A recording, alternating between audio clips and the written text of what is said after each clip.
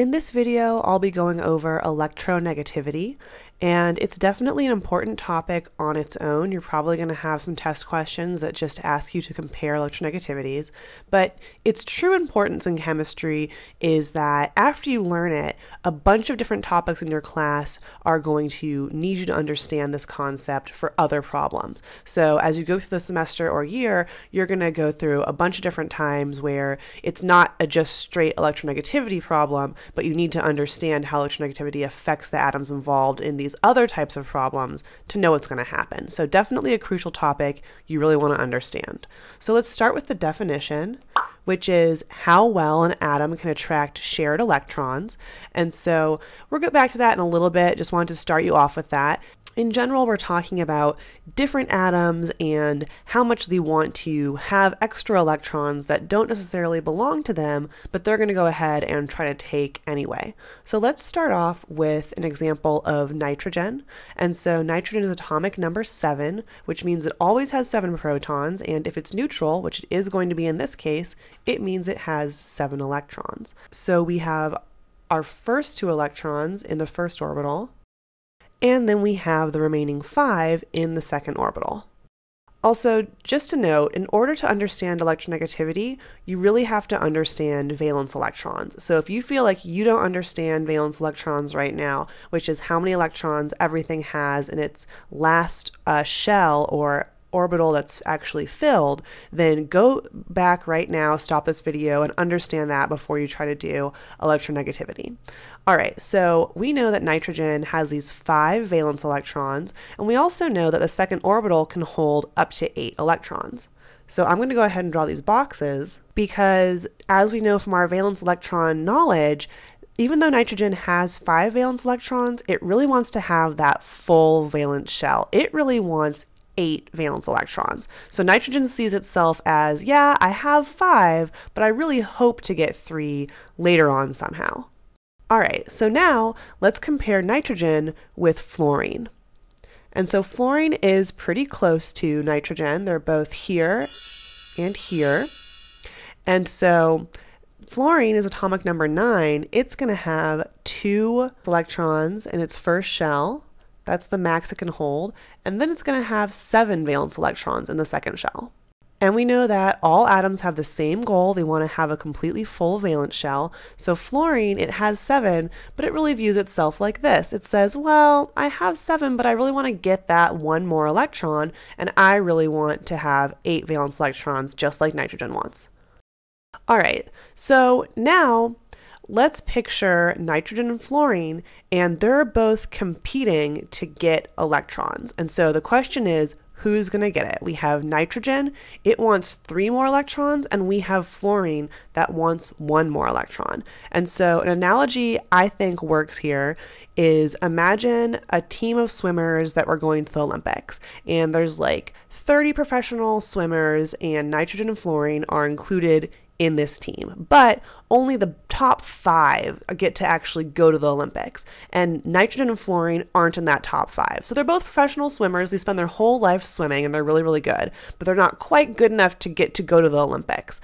And so now, let's say that nitrogen is three slots away from going to the Olympics. So, three people would have to drop out of the team before nitrogen goes. And fluorine is only one away. So, fluorine is like really, really good. It's almost going to the Olympics. If one person gets sick or has a family emergency and can't go, fluorine is going to get to go to the Olympics. It's going to achieve its lifelong dream. And so now I'm going to ask you this let's put nitrogen and fluorine in a darkened locker room, and there's somebody who is going to the Olympics who's tying their shoe and has their back turned to them. And we give nitrogen and fluorine a lead pipe, and we say, I'm not going to pay attention to what you do. This is on your own.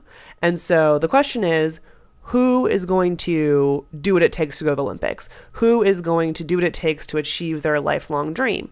And the answer is fluorine, right? So if fluorine smashes up that person's knees and prevents them from swimming at the Olympics, fluorine's on the Olympic team. He gets to go. And so nitrogen, there's not that much as incentive, right? Nitrogen is three slots away. It's like, well, I could smash this person's leg, but then I'm only two people away. I'm not even going to the Olympics yet, right? It's like not worth the risk. So when it comes down to it, fluorine is just more desperate. Fluorine is so close to obtaining its goal that it's going to make it happen. And so, because this is chemistry class, we can't just say fluorine is more desperate for electrons, even though that's really the concept that we're kind of thinking about. We have to use chemistry vocabulary. And so, we're going to say that fluorine is more electronegative. And so, these two atoms actually unlock a whole trend. So, increasing left to right is how electronegativity increases because as you increase left to right, the atoms get closer and closer to achieving their lifelong goal, so they get more desperate, they want more electrons. And that's true for the entire periodic table, except the very last column on the right hand side, the noble gases. And so these atoms don't really form bonds with any other atoms. There's some very, very rare exception, but for the most part, the noble gases don't form bonds. And so when we think about the definition, which is how well an atom can attract shared electrons, meaning that whenever we're talking about electronegativity, we're talking about these atoms that are already in a bond. So, for instance, if there was a bond between nitrogen and fluorine, ignoring valence electrons for right now, then we know that in that bond, fluorine's going to take these electrons, it's going to hog these electrons. That's what we're talking about in electronegativity. So if you just never make a bond, you can't really be a hog. All right. And so, just a note the Olympics thing that I went over is an analogy. And so, the technical reason that fluorine is more electronegative than nitrogen is that it has more protons. And so, it's able to pull the electrons closer to it than nitrogen does. Um, but I still like the lifelong dream analogy because I think that's easier to remember the trend. All right, so that unlocks one trend. Now, left to right, we understand that we're going to be increasing, increasing, increasing electronegativity, except for the noble gases, which aren't going to form bonds. They're not going to be electronegative. But what about top to bottom? And so to do that, let's compare two more atoms. So let's compare fluorine number nine one more time, which again is going to have two electrons in the first orbital and then seven valence in the second. And it still really wants that one more. And then we also have bromine, which is number 35. And so that means it has 35 electrons, which look like this, ending with seven valence electrons, which we knew because it's still in the halogen column, it's still in the seventh column. All right, and so bromine also wants one more electron. All right, so now who's going to win between fluorine and bromine if they're in a tug of war and they're being greedy over electrons? So, just looking at these two pictures right now, we see that bromine has a lot more orbitals and it's a lot bigger. And this is true for the actual atom of bromine, even though these are just kind of crude drawings, right? And so that really does affect its electronegativity, which is again, you know, they're both trying to steal these electrons. They're both trying to get closer to their goal. They want to have that eight valence, and so they're both trying to be greedy. And so who's going to be greedier? And again, the way that these atoms actually attract electrons is through their positive charges. And so if you think about where bromine's protons are, they are so many layers away from any electron that it could get, right? We, we have already one, two, three, four, five uh, orbitals that have electrons in them. And so even though we're trying to get more electrons, all of bromine's positive charges, which are how we're going to kind of trap those negative electrons, they're buried, they're shielded under all of these levels of electrons already. And so bromine just isn't able to attack and get that electron, whereas fluorine, it only has two orbitals, right? And so it is able to really have its positive charges from the protons in the nucleus. It's able to go ahead and attack and get those electrons. It's more greedy, um, and that really just is because of its size and because it has less layers of orbitals. And so in between fluorine and bromine, we'd once again say that fluorine is more electronegative which means in a tug of war between fluorine and bromine, fluorine would be more greedy and it would hog these electrons.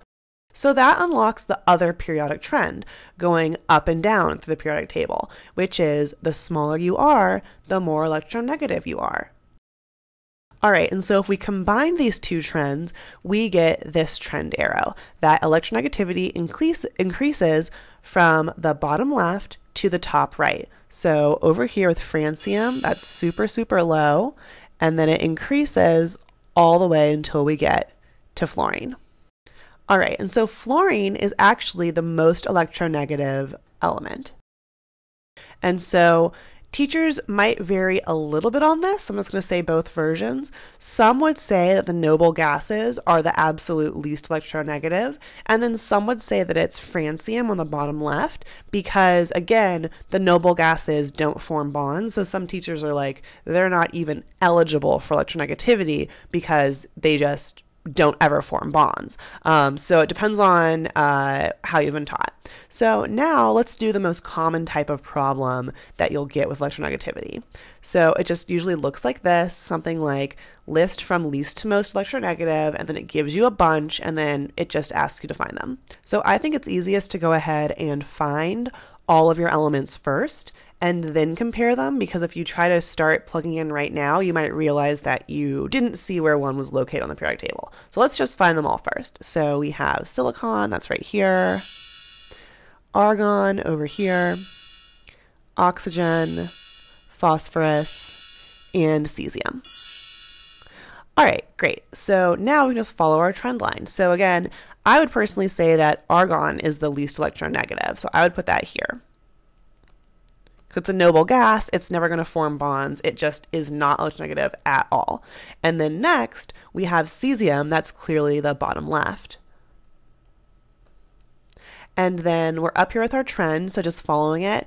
Silicon, that has four electrons as opposed to phosphorus's five. They're both on the same row. And then our most electronegative for this problem is oxygen. That's clearly the most to the top and the most to the right. And so sometimes students will ask me, okay, well, what if the problem had included chlorine, which is right here? And I had to pick between oxygen and chlorine. What do you pick? Because oxygen is higher up, it's smaller, but chlorine is uh, further over to the right. It has seven valence electrons. And so the answer to this is usually you can't tell, so you wouldn't be asked this. Um, the only way you'd tell is just if your teacher made you memorize different electronegativities, which they might, but most of the time it's just like, oh, there's no way to really tell who would win, so the problems won't have that. All right, so that is a little crash course on electronegativity. Very important topic for all chemistry. It really affects how so many of these atoms behave in different situations. So I hope this was helpful and happy studying.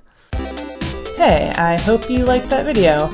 Please feel free to subscribe, click around and watch my other tutorials, and as always, happy studying.